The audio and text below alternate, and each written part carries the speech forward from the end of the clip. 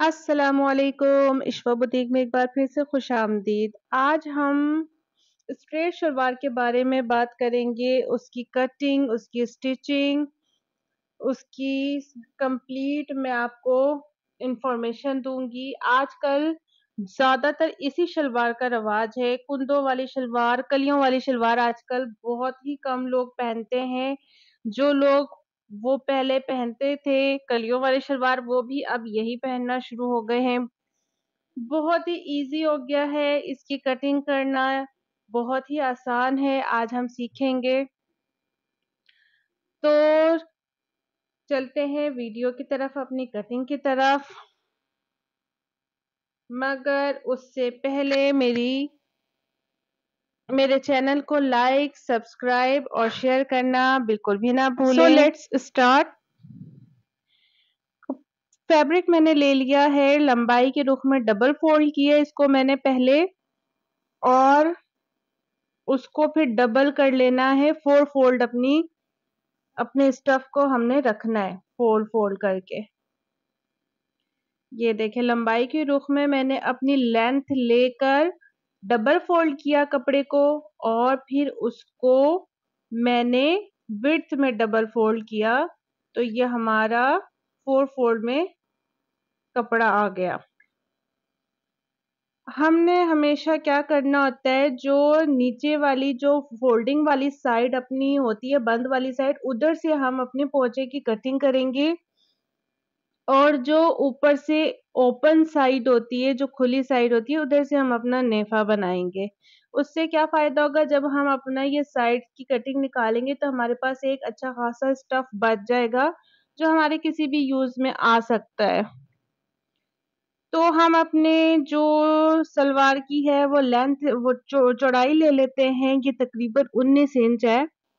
और फिर हम इसके ऊपर से अपने नेफे की लेंथ रखते हैं, जो हमारा फोल्डिंग में जाएगा। ढाई इंच हम ऊपर से नेफे की फोल्डिंग रख लेंगे, जो हमारा ऊपर से फोल्डिंग में चला जाएगा नेफा बनने में। उसको स्ट्रेट कर लेंगे।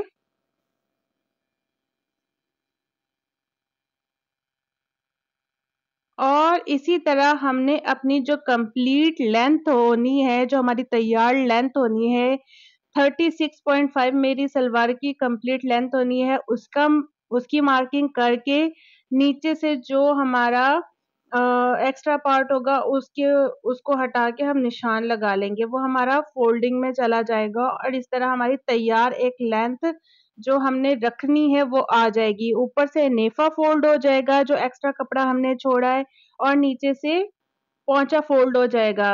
आसन हमने 15 इंच लेना है।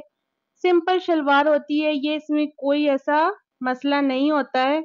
और ऊपर से हमने ढाई इंच छोड़कर निशान लगाना है और ऊपर से हमारी लेंथ चौड़ाई थोड़ी सी कम हो जाएगी।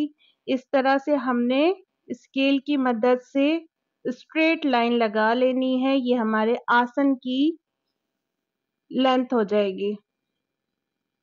उसके बाद हमने क्या करना है? अपना पोंचा जो हमने रखना है, वो मैं एट इंच पे मार्किंग कर रही हूँ। हाफ़ इंच पौना इंच हम सिलाई में दे देंगे।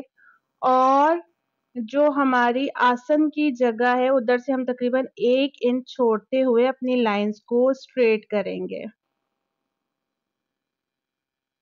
मैं इस शलवार में ज़्यादा कर्व या गोलाई नहीं दूँगी स्ट्रेट ही रखूँगी। और सिर्फ़ आसन के पास से हम हल्का सा कर्फ देंगे। इससे हमारा फ़ायदा क्या होता है? हमारा जो पहुँचा है वो ऊपर की तरफ़ खींचता नहीं है। जो हमने ऊपर से कटिंग की है, वो भी हल्की सी तिरछी कर दी है ताकि जो है जब हम फोल्डिंग करें इसकी तो हमारा जो निशान हो वो वैसे ही हो जैसे ऊपर से भी हमने फोल्ड करना है तो अच्छी तरह से हमारा जो कटिंग है वो बैठ जाएगा। नीचे से भी मैंने पहुँचा हल्का सा कटिंग तिरछा किया है। इस तरह जब हम फोल्ड करेंगे तो हमारा कपड़ा ऊपर से भी बराबर आएगा। सारी मार्किंग्स को हम कट कर लेंगे। सो शलवार हमारी कट के रेडी हो गई है। जो हमारी नीचे से फोल्डिंग का कपड़ा है, उसको भी कट करके अलहदा कर लेंगे।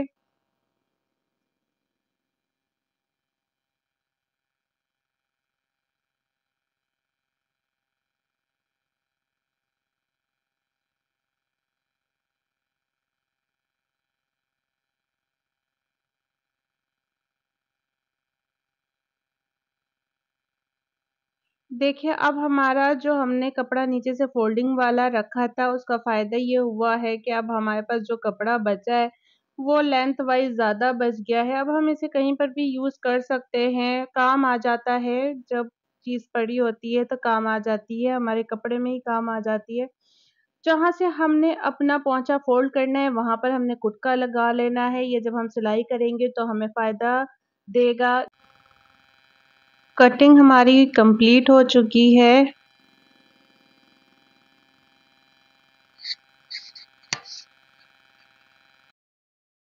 अब आ जाते हैं सिलाई की तरफ़।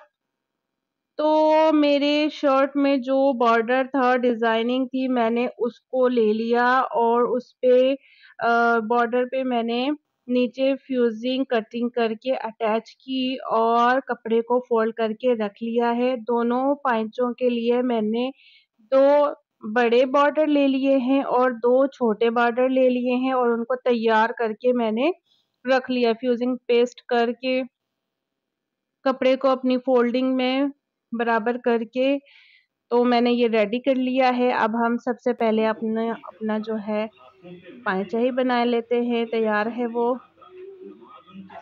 अच्छा मैंने क्या किया, जो पाँचा नीचे से हमने फोल्डिंग का छोड़ा था, उसको मैंने अंदर की तरफ़, ऊपर की तरफ़ ही फोल्ड करके प्रेस कर लिया है। अब हमने पाँचा तो बनाना नहीं है तो इसके ऊपर मैं अपना बॉर्डर इसी तरह से रख के अटैच कर लूँगी। डायरेक्शन हम अपने डिज़ाइन के चेक कर लेंगे, ऊपर की तरफ़ है तो मैंने इसके डायरेक्शन को सीधा ही रखना है और हम अपनी स्टिचिंग स्टार्ट करते हैं।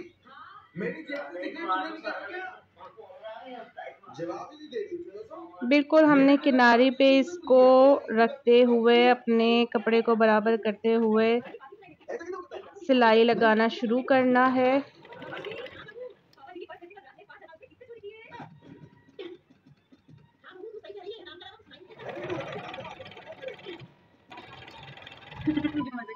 कपड़े को हमने हाथों से ठीक करते जाना है दोनों ऊपर नीचे वाले कपड़े को बराबर करते जाना है और सिलाई लगाते जानी है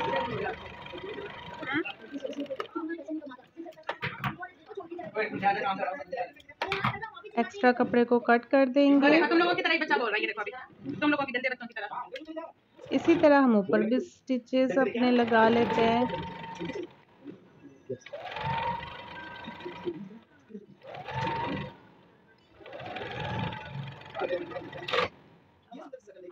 नहीं धागा ऊपर से खत्म हो गया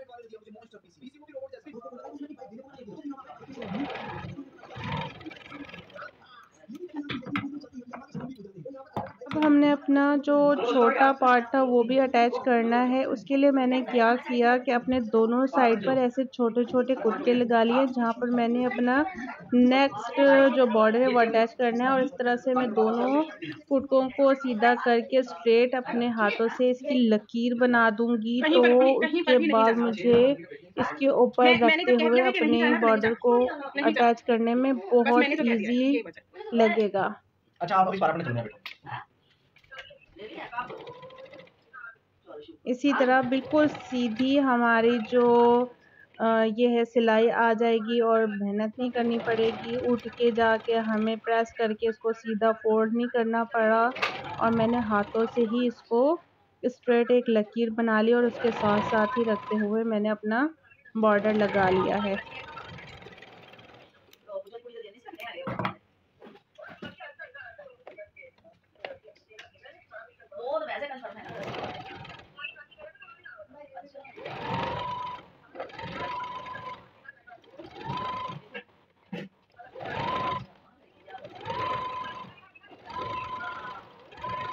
दोनों साइड के पहुँचे, हम इसी तरह से तैयार कर लेंगे। बहुत ही फिनिशिंग से रेडी हो जाएगा। दूसरा पौचा भी मैंने रेडी कर लिया है। अब हम आसन की सिलाइयाँ लगाएँगे अपने। सीधे साइड को सीधे साइड से मिला के उल्टे साइड को ऊपर रख लेंगे। और दोनों आसन के हिस्सों को बराबर करके हम सिलाइयाँ लगा लेंगे।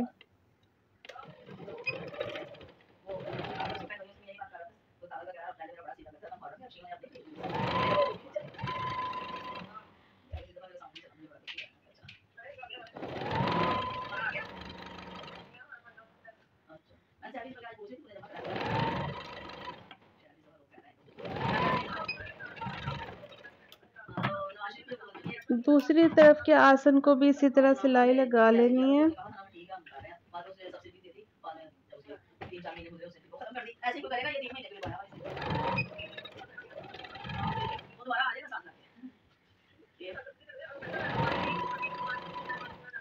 स्ट्रेट सलवार ने बहुत इजी कर दिया है। वरना पहले बेल्ट वाली शलवारें ज़्यादा चला करती थी, कुंदों वाली शलवारें ज़्यादा चला करती थी। अब ये लोग जो हैं, शौक़ से पहन लेते हैं और सीने में भी 10 से 15 मिनट ही लगते हैं मुश्किल से। अब वो लोग जो नेपों में वो लास्टिक नहीं डालते, उनके लिए हम थोड़ा सा हिस्सा ऊपर से जो खुला रखते हैं वो हम किस तरह से बनाएँगे कि अपने जो कट मार्जिन हैं इनको हम सीधा करके ऊपर इस तरह से सिलाइयाँ लगा लेंगे। तो इधर से हमारा जो ओपन करना होगा हिस्सा वो ओपन हम इधर से आराम से कर सकेंगे बन डालने के लिए। ये जो स्टिचेस लगी है इसको हम इस तरह से रखेंगे और इधर सेंटर से जब हम इसे खोल देंगे तो हमारा जो है इधर से ज़ारबन आराम से चला जाएगा। नेफे की हम सिलाइयाँ लगा लेते हैं। वो हर एक को पता होती है कि किस तरह से लगाना है। नेफे का हमने जो रखा था मार्जिन उसको हम पूरा रखते हुए नीचे से कपड़े को हाफ़ हाफ़ इंच फोल्ड करते हुए सीधी स्ट्रेट सिलाइयाँ लगाते जाएँगे। और नेफा हमारा रेडी हो जाएगा।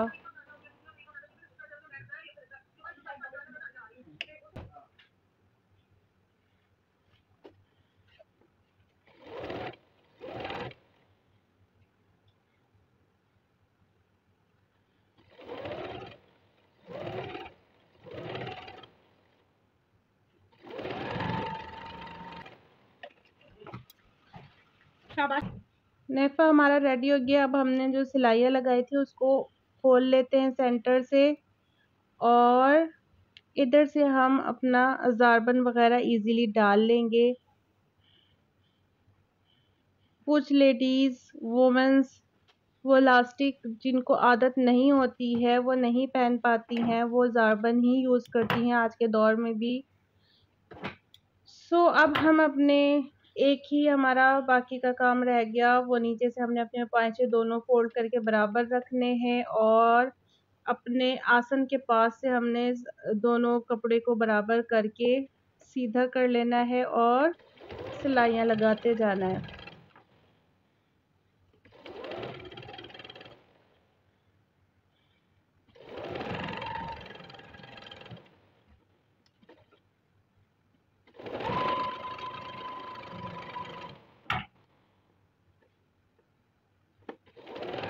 आसन के पास से जो हमारा जॉइंट आता है, वो बिल्कुल बराबर होना चाहिए। अब इसी तरह से हमने दूसरे साइड के पौचों के पास से पकड़ लेना है, दोनों कपड़े को मिला के। और फिर इधर से हमने अपना कपड़ा स्ट्रेट एक दूसरे के ऊपर रख के सिलाई नीचे उतारनी है।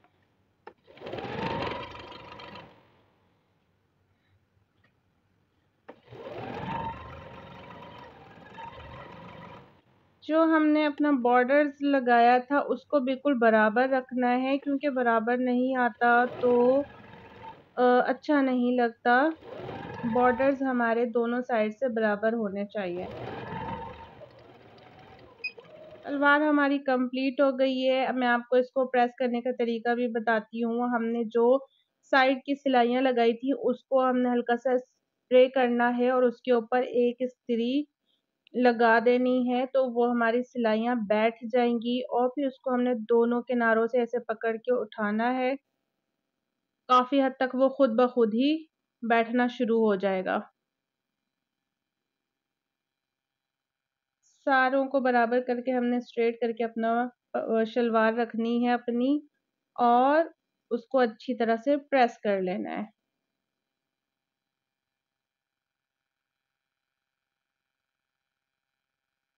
अपनी किनारियों को बिठाते हुए, सिलाइयों को बिठाते हुए हमने बाहर के रुख में स्त्री फेरनी है ताकि एक्स्ट्रा कपड़ा जो है वो सारा बाहर को निकल जाए और एक क्रीज बन जाए साइड की।